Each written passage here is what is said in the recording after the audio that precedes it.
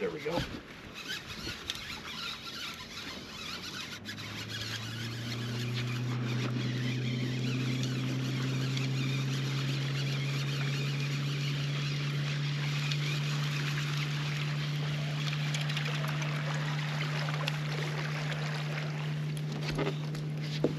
Got him.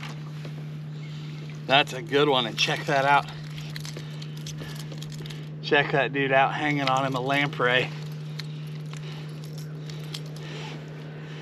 Nice fish on the S-Waver. And a gnarly lamprey eel. Poor guy, glad I could get him off you.